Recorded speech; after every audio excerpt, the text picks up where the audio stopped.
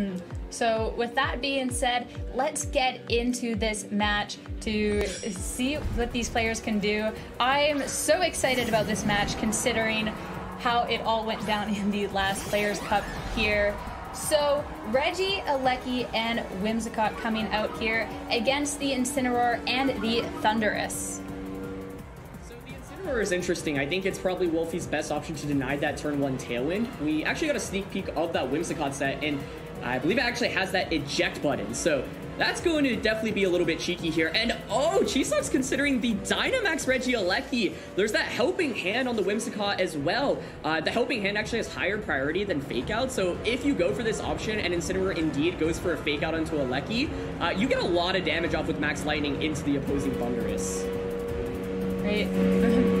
Dynamax Regieleki, not something that you always see, but this Pokemon does so much damage and is so fast that it can definitely catch people off guard. I'm really excited to to see how Wolf responds to this here.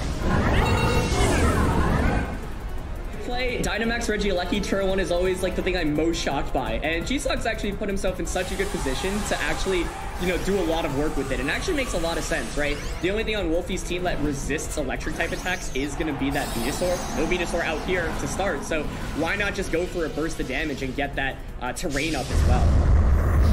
Max Thundurus coming out on Wolf's side here. And let's see what that Incineroar goes for. No um, sorry, the helping hand from the Whimsicott onto the Regieleki, and the Incineroar did go, in fact, go for that fake out, not being as high as a priority. Isn't going to do anything except for switching that Whimsicott out with that eject button here. Yet I'm curious, I think, you know, typically in a scenario like this, you want to double up onto the Whimsicott, go with something like Fake Out and Max Airstream. Uh, and this is a really cool way in dealing with Assault Vest Thundurus, right? Max Lightning here actually does a sizable amount. Now you've also set up that ter uh, electric terrain, so another Max Lightning will KO the Thundurus from the opposing side.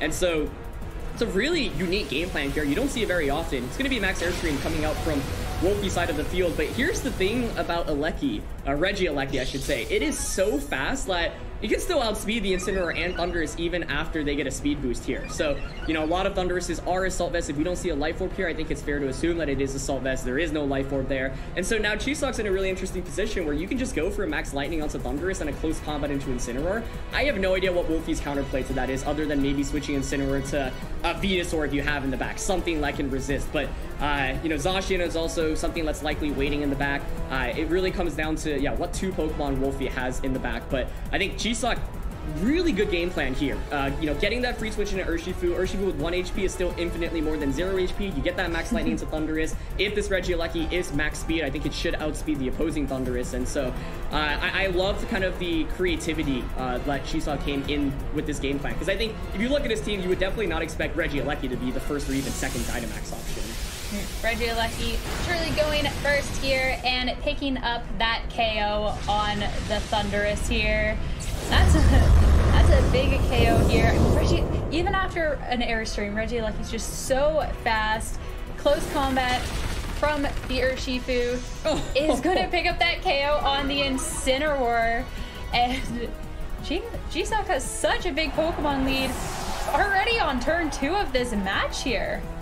I was wondering if Incineroar had any speed investment where after a speed boost from that Thundurus you can outspeed, because that's actually really critical, right? Imagine that uh, it outspeeds the Urshifu, gets the KO onto it, then you preserve, and Stonjourner is actually out with that Zacian, but uh, part of the problem here, Sierra, is that there is no electric resist, right? So once again, you can see how smart Jiseok's decision actually Dynamax's Regieleki was, and What's tough is, you know, you can protect to stall out the, or take a little bit of less damage from the Dynamax, but Urshifu doesn't care about the protects. It can just freely target through. Stonjourner is cool, but Stonjourner typically is designed to support its teammates. It's not really going to carry the game very much, right? So uh, I think here Stonjourner can go for a Rock Slide, maybe just try to pick up the KO onto Urshifu. Uh, I think the Protect play on uh, Wolfie's side here is absolutely correct, but it's still tough, right? Jiseok's doubling up into that. You still take so much damage from this double up. Uh, Max Lightning alone, yeah, would have picked up the KO without the Protect, but then close combat here is still going to bring Zacian down to very low HP. Alright, connecting onto that Zacian, bringing it real close, not quite picking up that KO there. and Stonjourner is just going to go for the Rock Slide. Finally connects with that Urshifu, of course, with 1 HP, will pick up that KO, and just a bit of chip on this Regieleki here. Yeah, a little bit of chip at the end. Regieleki actually wasn't even in any danger of getting knocked out because while it's really frail, you know, you're you're not going to take damage if you're able to just knock out your opponent's Pokemon before they can move. And so, uh, I mean, I think Jiseok definitely baited the uh, Fake Out and Max Airstream into Whimsicott turn one. And I, I that's the tough thing about using Assault Vest Thundurus in this format. If your opponent is able to basically get a two-hit KO onto it, right? Because Assault Vest Thundurus obviously can't go for a Protector at max start. So I, think this game is pretty much all but a wrap at this point. Uh, you know, Jiseok can just go for something like a safe Thunderbolt onto the Zacian slot. Uh, Stonjourner is a cool Pokemon, but, you know, definitely not going to be able to finish it off uh, by itself here. The only thing you want to watch out for is a potential Wide Guard from Stonjourner, so don't go for double spread type attacks, right? I think the one way Jiseok could lose this game is if he went for Electro Web and Astral Barrage.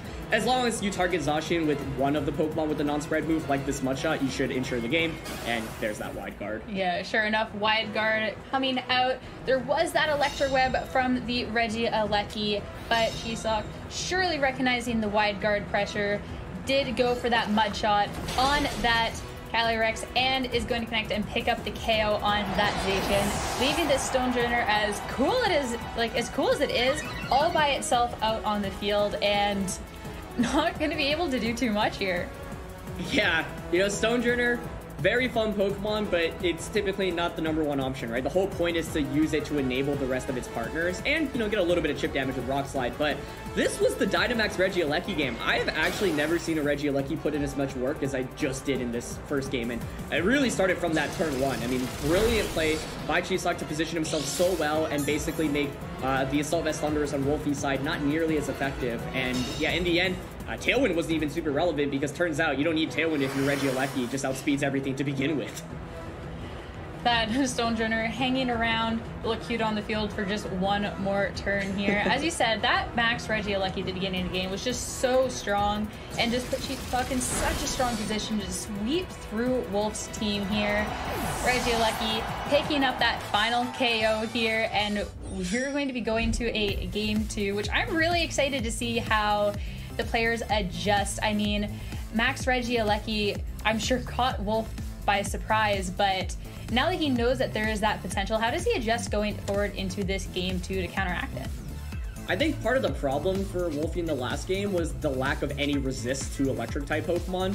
Right, there was no Venusaur, and that's that's the main thing I was looking at going into this matchup. Now, I totally don't fault Wolfie for not bringing that Venusaur in game one because uh, Jiseok has that Thundurus on his team, right? So, it once again, that's why the lead matchup is so important, and Jiseok made the most out of the lead matchup in the last game, which was already decent for him, uh, and then snowballed it even faster after that turn one. So, from Wolfie's side of the field, I think if you're expecting Jiseok to play with the same Regieleki strategy, you perhaps consider that Venusaur uh, either in the back or lead it, right? If you have it in the back, you can at least switch into a max lightning, although that still doesn't feel too good to be honest, because you still take a sizable amount. Venusaur's, uh, you know, special bulk and just general bulk isn't amazing, especially when going up against powerful max moves, even if you resist them. And so I'm thinking maybe the adjustment, if you're expecting the Whimsicott plus the Regieleki combination, is to just go with that Venusaur again. Jiseok can one up that by leading the Thundurus this time instead of the Regieleki. So uh, those are the adjustments I think both players can potentially make going into this next game. All right, let's get started into this game two to see what adjustments they are going to be bringing here. So on Wolf side, with that Venusaur to start next to that Torkoal, so big lead adjustment. On Jiseok side, we are going to see the Regieleki next to the Whimsicott again, and I'm really excited about this lead adjustment here.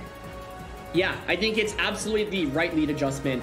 Uh, you know, Jiseok, like I mentioned, could have let that Thundurus, but feeling content to just go with Regieleki. Actually considering maxing Regieleki anyway, which is, I think, super fascinating here. I mean, What's also tricky from Wolfie's side is, you know, this is an open team sheet tournament. He knows this Whimsicott has Switcheroo and that eject button. So, you know, he might be really nervous of Dynamaxing Venusaur on turn one because you don't want to max it just to get Switcheroo and then have Regieleki target it.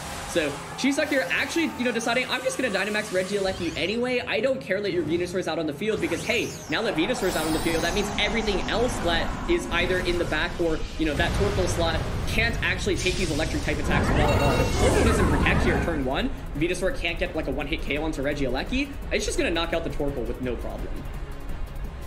right? So no Protect coming out. That Whimsicott is going to be setting up the Tailwind, so a super speedy Pokemon is just going to be zooming even faster with that Max Lightning onto the Torkoal and just going for those KOs. I mean, Regieleki is so strong. These Max Lightnings just carrying through the team here, and that Torkoal just getting KO'd. Venusaur with the Sludge Bomb out onto the Whimsicott is also going to be picking up a KO here, but Whimsicott has already set up that Tailwind. There won't be any more eject button pressure, which I feel would be really, really nice. You have to respect that a little bit, but each player taking a early KO, and I'm excited to see where this goes. Yeah, I think it's really critical Tailwind goes up this time around, right? This game definitely looking a little bit different than the last one, but uh, when we were talking about this matchup in general, one thing I mentioned was the ability to just snowball the game really quickly. Tailwind is a really critical component to that. Jiseok not only gets Tailwind up, but also gets a free switch in and sets up the Electric Terrain for himself. If this Thundurus doesn't Dynamax, I mean, he'll probably just faint to the Max Lightning. I really like the decision to double up onto Thundurus, knowing that it can't protect in this position. So even if Thundurus maxes, it probably just faints to Max the Lightning plus Wicked Blow. And if Thundurus doesn't Dynamax, well, the Max Lightning picks up the KO onto Thundurus anyway, and then Wicked Blow gets redirected into Venusaur. So this is a really safe play, right? Like, because you already have a decent position, why go for any risky plays, right? Especially if you know that the Thundurus here is assault vested, does not have protect, uh, and with it, you know, being an open team sheet tournament, you fully have uh, information of the opposing side's team. So Wolfie here is going to end up Dynamaxing. It is actually going to be that Gigantamax Venusaur, and you know, I have to wonder, can this Venusaur get a one-hit KO onto that Regieleki with something like a Max Quake, for example? I mean, it's going to have to take care of this Regieleki soon because this Regieleki is applying so much pressure. Max Lightning onto the Thundurus, picking up his second KO in a row here. I mean, this Regieleki is snowballing. Wicked Blow from the Urshifu, taking more than half of the HP away from this Venusaur. No Max Quake, Instead, Vine Lash hitting into that Urshifu. Of course, Focus Sash activating, but with this Vine Lash damage is not going to matter, and this Venusaur is picking up that KO here. Yeah, and the main thing here is Regieleki continues to just stay on the field and not take any damage. I think, you know, that's two turns that Venusaur had an opportunity to target the Regieleki, but I think turn one makes sense, right? You can't fault Wolf for not wanting to Dynamax that Venusaur when you have to face the possibility of uh, an eject button going onto it immediately. Uh, but in the end, Jiseok once again saying, hey, now that your Venusaur is out on the field, uh, with Torkoal not protecting Trone, I think that was really critical as well. Just being able to pick up the one-hit KO means that this Regieleki is able to snowball the game so much faster. So both players are down to their last two Pokemon. There's still a turn of Max here on the Regieleki, so, you know, you can just go for that Max Lightning onto the Zacian slot. I think Zacian in Wolfie's uh, side of the field will definitely have to protect. If you don't protect, you are just going to absolutely faint to a Max Lightning. So Jiseok can just play this game very safely. Now, he doesn't have a Psychic type attack on the Calyrex, so, you know, your best bet is to go for that Astral Barrage. I was wondering if, you know, Hyper Beam could actually get the KO onto Venusaur, but uh, maybe Astral Barrage alone can finish it off. Either way, I think Wolfie's play here has to be to protect the Zacian.